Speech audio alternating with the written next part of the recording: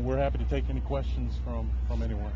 Is there a motive in the, um, in the slayings and the sewer? Um, we've not established that yet. As, as the sheriff said, this investigation is going to continue.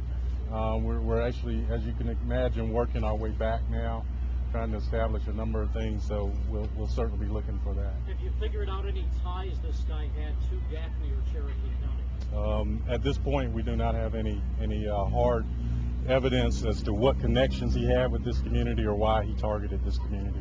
Does it anger you at all that you don't, you never had the chance to talk to this person, interview this man? It, it angers me as to what he did to this community.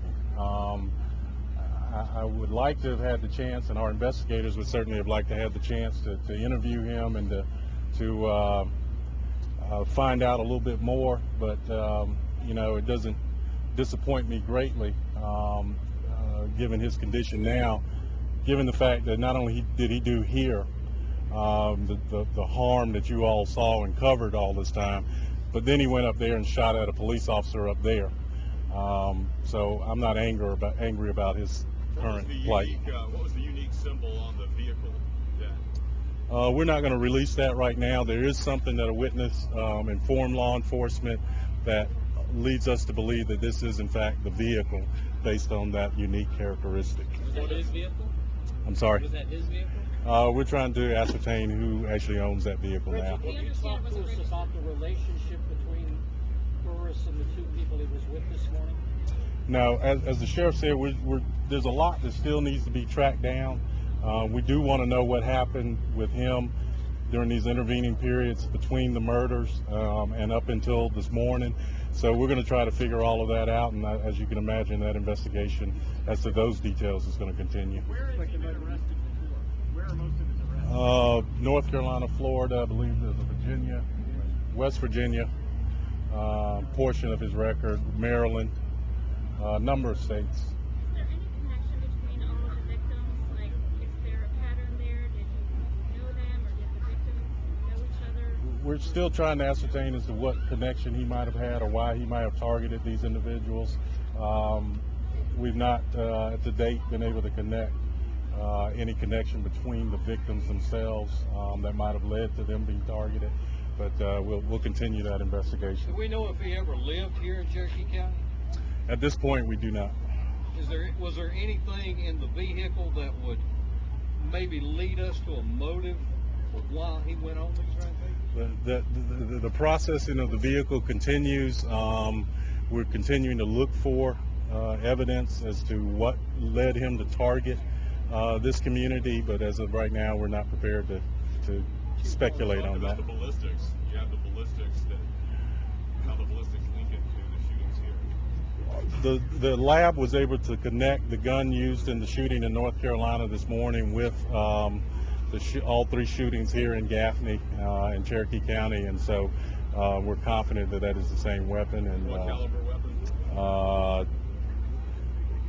we're not. We, we don't want to release that just yet. Um, as I said, there's still some details that we want to want to nail down, so we're not going to release the caliber of the weapon just Was now. the weapon, did the weapon belong to him or was it a stolen weapon? Uh, we're still trying to ascertain as to who the weapon actually may have belonged to in the past. It was in his possession. He was using it this morning when he shot the police officer, and uh, we are able to connect it definitely to the three uh, incidents here. Just because it was the same weapon, how do you know it's the same person who pulled the trigger?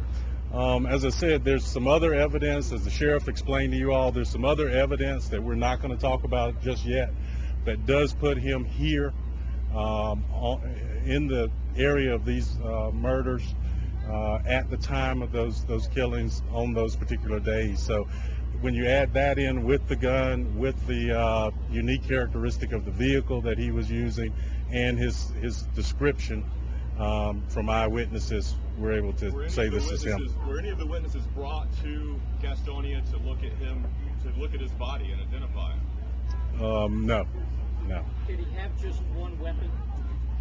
Uh, we're not going to. There's there's some other issues related to um, some some property that may have been taken, um, and right now, I'm not sure, Chief, if you all have recovered any other weapons related to the shooting up there. They're still processing the scene, so that's key input right now. there, there, we don't have that yet. Was he, was he ever identified as a suspect before tonight? No. Yes, ma'am.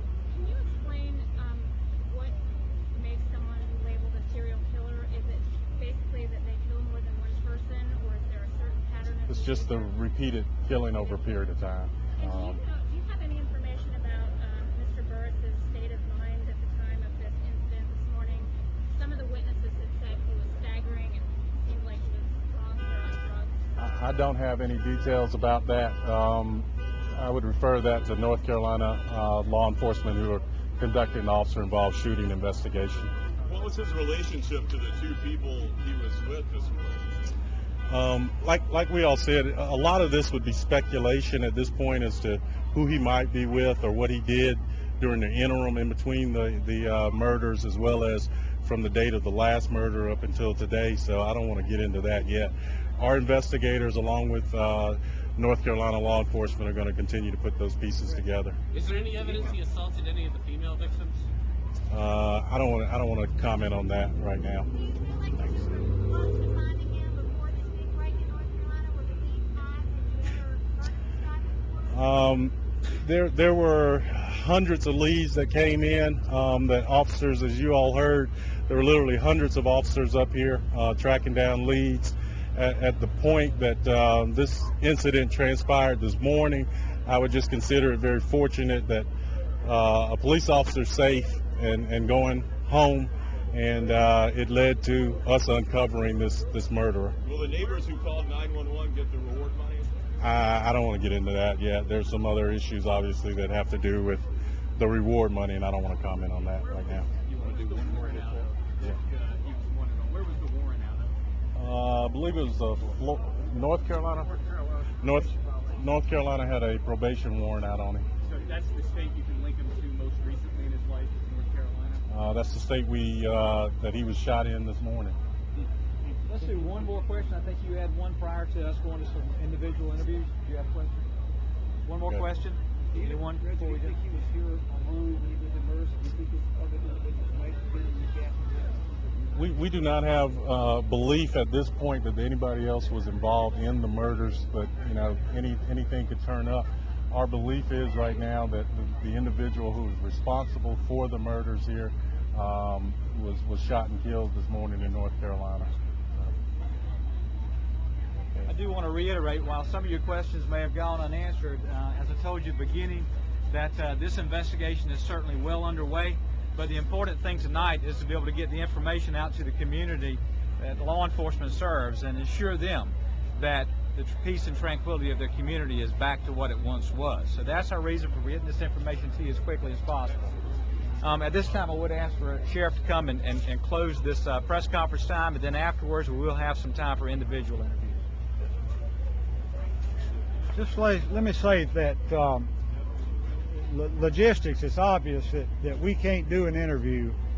Most of the folks back here, we haven't seen our families in, in nine days, and our children and our wives, and and uh, we're all tired. That's not to say that the families are not tired, but but we but but the chief uh, police here in Gaffney and myself uh, we'll be here all day tomorrow for interviews. I know that's that's tomorrow, but we'll we'll stay here as long as you want tomorrow. But but uh, uh, but uh, but if, if you'll just bear with us on that, listen, we needed you. You're always calling us. You're always calling us wanting stuff, and this time we called on you, and uh, you had you you came through. And our goal in this from from uh, when this thing started, our goal when we flooded this county with police officers, our goal was to keep him for killing for one day. We didn't want him to kill for one day, and that gave us one day to catch him. And we got that day, and then the next day our goal was to keep him for killing one more day. And the next day, and that's all we asked for and prayed for was one day to catch him, and that day was today. And we appreciate that, and, and, and maybe tomorrow we'll we'll speak to all of you and try try to take your phone calls and everything.